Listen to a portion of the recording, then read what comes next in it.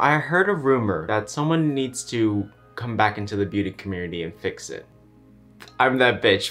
Boy, have you lost your mind? Hi friends, my name is Fire Extinguisher today because that's what this community needs. I am officially barging into the community, but not really because I don't know how to do makeup that well. Are you drinking your lemon water today? So I've done makeup for a little bit. You could say that I've dabbled in makeup. I too am a victim of consumerism and being influenced by a lot of people on Instagram and YouTube. But recently I've been trying more makeup and I've settled on a style, something that works for my face that is basically nothing I ever see on YouTube anymore. And I've asked you guys a couple times if you want a makeup tutorial. A lot of you want it, so I'm just gonna show you. And I'm going to be honest, it's nothing special because there's not a lot to it. So I'm gonna zoom you guys in. We're gonna get uncomfortably close. First, let's address the fact that my face is clearer than it has been in the past. Oh, a lot of oil. But you can see that there's some scarring on both of my cheeks. The left cheek is a little bit worse, but like, it's nothing to be annoyed about because everyone has scars and you guys shouldn't be ashamed about it. The reason why I talk about this is because no one ever shows someone this close. I get it, it's uncomfortable to be this close to a camera so you can see every crevice and pore, but I don't want you guys to think that everyone on YouTube has clear skin. It's all lighting. Also, yes, I'm matching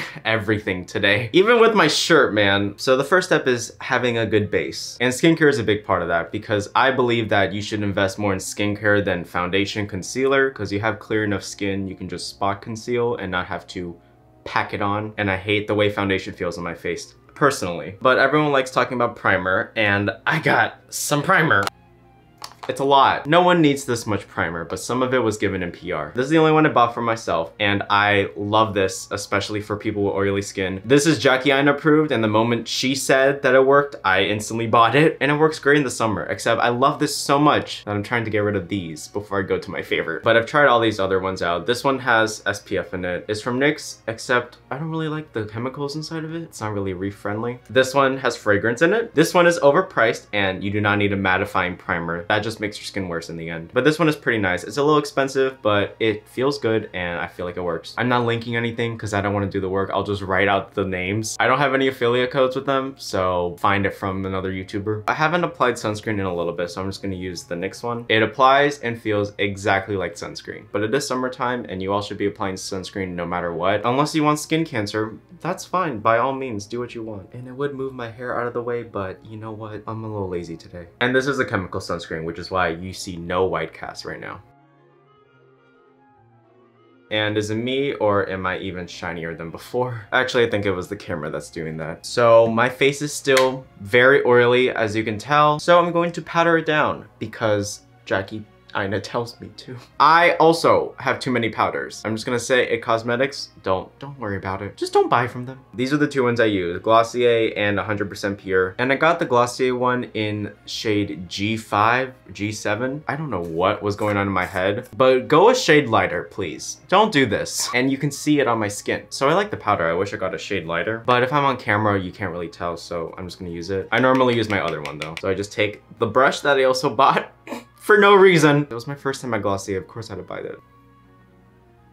Do you see that? Not really my shade, is it? I'm taking off my bucket hat because it's getting hot in here. You can clearly tell it's not my shade. So I'm gonna just go in with the other one because I don't want to be called out today. And I'm using a makeup applying tool that is no brand actually. I don't wonder why. But I'm not just gonna throw this away. I paid for it, so I'm going to use it. Don't get it twisted, please. But see how much better this looks than that other powder. The camera is also very deceiving. You can't tell if I'm far away. But we're close up today, so I need to be careful. If you think that powder is gonna mess up your foundation, it won't unless you wipe your foundation like this. So I have two foundations. They're both unnamed because they came from samples at Sephora. I never really bought foundation, so I can't tell you what they are because it's made of six different foundations. And I just take my pinky. I'm only putting it where I have redness, where I have acne scarring, not over my face because it's never worked for me. And yes, I put foundation under my eyes too because I don't like having a bright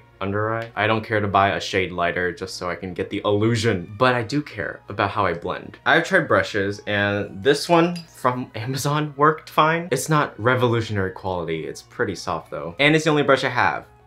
But I like this one more. And I also have trouble foundation matching because naturally I'm a little more pinky, but my hands are more yellow, so it's just annoying. So I'm just gonna do this really quick. And don't look at the fingerprints. I just bought this from Forever 21. And please use a magnifying mirror just because you don't want someone clocking the, the patchiness right under your chin. It's happened to me so it's not gonna happen again. So the title of this video, I don't know what I'm naming it, but I, in my head, it's already gonna be like, makeup routine to trick the boys into liking you. And I'm just gonna tell you, I hope you know that is a completely sarcastic title. You all know I made a 51% sarcasm, 49% kombucha, and or lemon water. But I'm about to go to Ulta Beauty and get curbside pickup with a mask on. So if you think I do makeup or the majority of people in the world do makeup for other people or to trick men into liking them, you think we want to date in quarantine? At least for me. I do this only for me. I do it to have fun. It's the same reason I spend hours on skincare.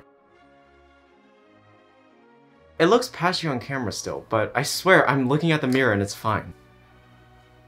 Why does it look patchy on camera? Well, maybe it's just because you're ugly. Freaking stupid ass, stupid.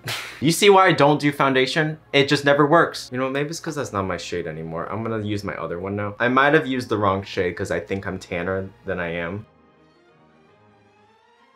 Okay, you're gonna have to take my word for this. I'm not patchy in real life. I think this camera just picks up orange because for some reason, my hand is orange too. Actually, if I'm up close, you can't really see the orange anymore. So for eyebrows, I already filled it in a little bit because my camera died. The level of unprofessionalism far too much. But I just take a black shadow from this e.l.f. palette. I only have two palettes and both of them my friend gave me. Shout out to Lucy for being the person who got me addicted to makeup in the first place. And I don't really like eyeshadow. I'll explain why soon. So I just take any black shadow. I even have one from Maybelline from a long time ago. I'm excited to use this one because it's only black and that's the only color I like. I take this angled brush from Amazon and just fill in my eyebrows. I never go outside of my actual eyebrow hairs and I don't really care too much for the, the Instagram eyebrow. I don't like how that looks. I prefer a little more natural. But Frederic, you already have eyebrows. I know, for other people, this is not gonna work, but you clicked on my makeup tutorial. What did you think was gonna happen? And then I just take the spoolie, brush it out because I'm a little paranoid. And do you see the difference now?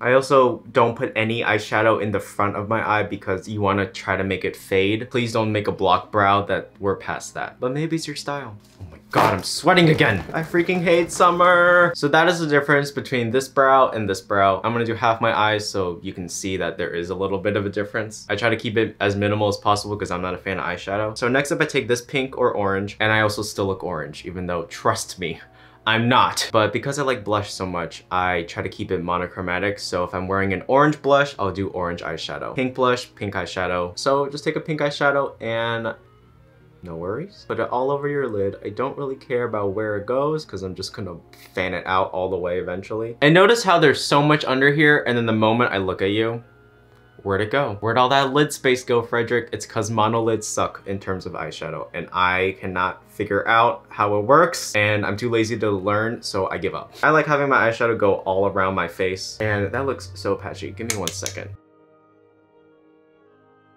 I promise you, it is not as patchy as you think it is. If I zoom in, oh, never mind. Does it look patchy? Probably, because I don't really know how to blend and I'm just gonna put my glasses over it anyways. Sometimes I like putting this right above my brow bone because people tell you to and I believe everything they say. Okay, that's the best it's gonna be. Sometimes, if I'm feeling fancy, I will take the brown and put it right near where eyeliner goes in hopes that it will make my eyes look a little bit more sultry. Is that the word they use? Because once again, you can't see that I put brown there, but when I tilt back, and close my eyes, you can see it. And because I want to get rid of this palette, I also take these two browns, which is slightly darker than my natural skin tone. And I mean one, two, tap. Jackie Aina taught me this. I just put it down my nose, a little bit in my eyebrow, because everyone loves making fun of Asians for having a flatter nose, even though it does not matter. Oh, one second. So if I'm farther away, you can see that there's a little bit of a difference compared to this and this side. Okay, I closed the blinds because I thought it was doing a lot. Finally, I take the liquid eyeshadow from Stila. I had a pack of three, so I gave two to my friends because I'm not going to use them ever. But I would like to use it up, and I have found that putting it right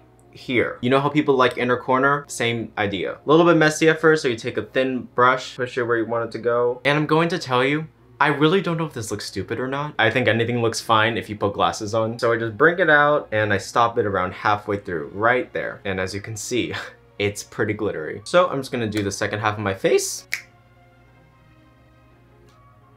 Is it even? but if it's not, there, that's how I go about my eye looks. I care about this eye only. I just realized I didn't even fill in this brow and you couldn't tell. And I'm trying something new here. L let me know if it looks stupid or not. I bought these blue and yellow shadows and because I hate putting things above my eye and I only like the waterline more, I'm thinking about just putting it underneath. You know, it's like when a gay finally learns about makeup, he does that to be like edgy. I still like the look though. Trust me, I know it's not revolutionary. People have been doing things under the waterline for ages. I just put some pink under there because I thought it was a little bit naked because it was only glitter. And what happens when you put glasses on? Da da da da, you don't know what's, you don't know. I don't really care about my eyes, I care about my eyebrows only. So the more I can distract you, the better. Let's talk about blush. I love blush. I really like pink, red, orange colors on my face. Not for foundation though. So I have three that I've tried out. Glossier and Dawn, 100% pure in strawberry, and Milk Lip and Cheek